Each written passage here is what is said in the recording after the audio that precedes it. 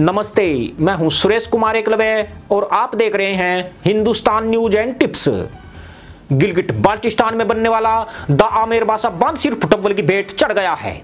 दो महीने पहले ही प्रधानमंत्री इमरान खान ने इस डैम को लेकर बड़े बड़े दावे किए थे। मगर स्थानीय लोगों के साथ खुद पाकिस्तान का खजाना भी इसमें बड़ी मुसीबत बन गया है। जिसके बाद इमरान सरकार बासा डैम से अपने कदम वापस खींचने पर विचार कर रही है।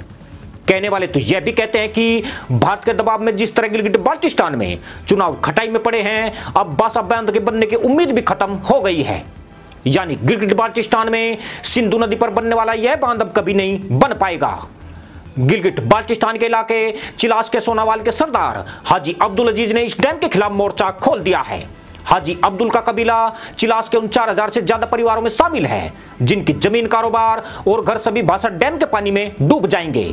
हालाँकि पाकिस्तान की सरकार ने डैम से प्रभावित होने वाली आबादी को राहत देने का समझौता किया है। लेकिन हाजी अब्दुल अज़ीज़ इससे बिल्कुल भी खुश नज़र नहीं आते हैं। उन्होंने ऐलान कर दिया है कि वे किसी भी सूरत में बासा डैम का निर्माण नहीं होने देंगे।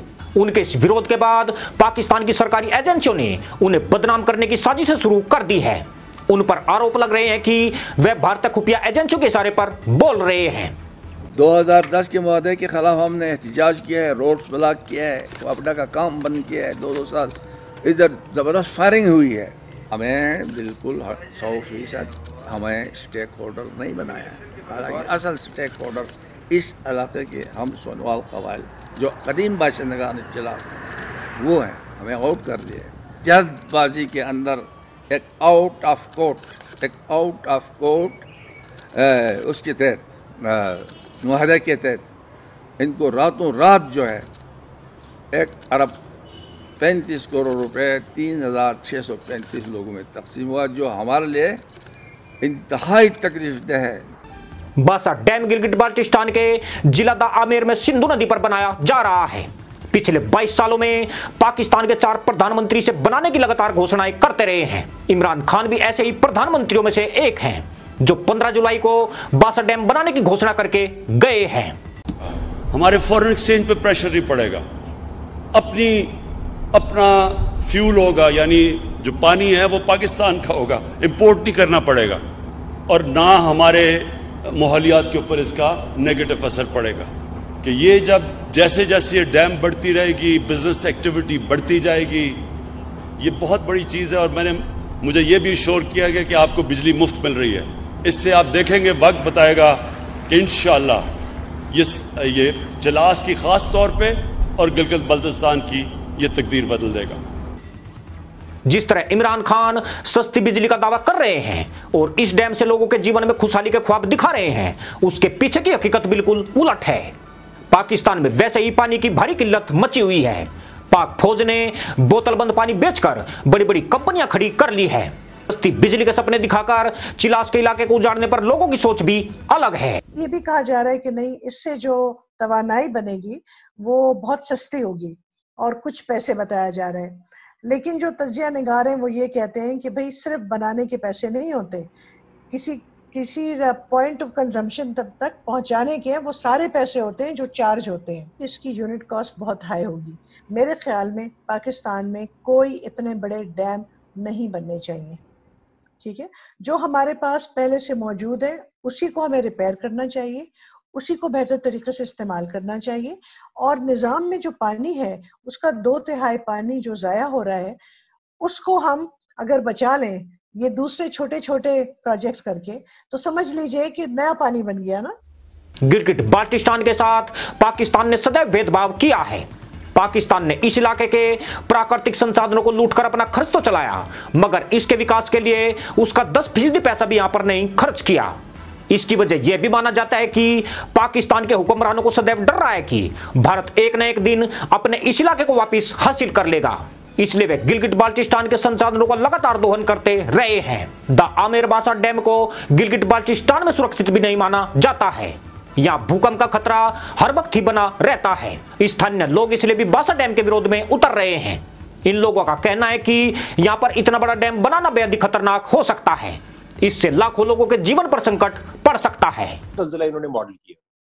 और ये कैसे हो सकता है कि आप साढ़े नौ सौ फुट का डैम बना रहे हो, दुनिया का हाईएस्ट तरीन डैम, और उसके अंदर आपने मॉडलिंग की हो जो कि ऑलरेडी एग्जिस्टेंट है एक्सटेंट आपको पता है कि इतना जलजला आता है, उसके आगे आप सोच सकती हैं कि साढ़े अगर सवा नौ सौ फुट का डैम जो है अगर वो फेल हो जाए तो पाकिस्तान की छुट्टी। आपका तरबेला इज़ गॉन आपका चश्मा is gone hundreds of thousands will die basically आपका जो इंडस का इंफ्रास्ट्रक्चर है दैट विल ऑल हैव इस डैम के निर्माण में 14 से 18 अरब तक का खर्च आने का अनुमान है जबकि पाकिस्तान के पास इतनी रकम मौजूद नहीं है। एशियन डेवलपमेंट बैंक और वर्ल्ड बैंक ने भारत की आपत्तियों की वजह से पहले ही फंडिंग देने से इंकार कर दिया है। लेकिन अब चीन ने इसे चाइना पाक इकोनॉमिक कॉरिडोर में शामिल करके इसके लिए फंडिंग का ऐलान किया है। मगर पाक के आर्थिक हालातों पर नज़र रखने वाले इसे आत्महत्या जैसा कदम मान रहे हैं। उनका कहना है कि ना तो पाकिस्तान के पास इतनी रकम होगी और ना ही ये कभी डैम बन पाएगा। बड़ी बात यह है कि भारत का लगातार बढ़ता दबाव भी चीन पाकिस्तान को बासा डैम पर उसके प्रयासों को सफल नहीं होने देगा। पाकिस्तान की मंशा इस डैम के बहाने चीन को गिलगिट बाल्टिस्तान में एंट्री कराकर अपने ऊपर बढ़ते भारत के दबाव को कम करने की थी। पर लगता यूँ है कि अब उसके यह मंसूबे भी नाकाम हो रहे हैं, क्योंकि स्थानीय लोग खुलकर डैम के खिलाफ विरोध प्रदर्शन पर उतर आए हैं।